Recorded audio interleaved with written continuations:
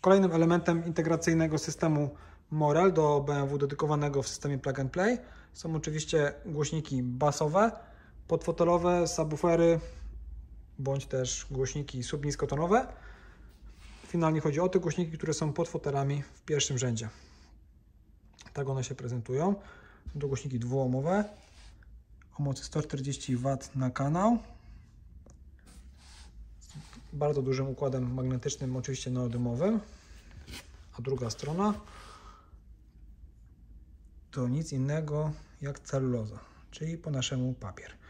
Oczywiście zagniatany, impregnowany i tak dalej, ale no cóż, papier był, jest i będzie jednym z lepszych materiałów do produkcji głośników. Głośniki są wykonane fenomenalnie, jak cała seria. Także zapraszam do kontaktu, jeżeli jesteście zainteresowani montażem tego typu sprzętu. Dzięki.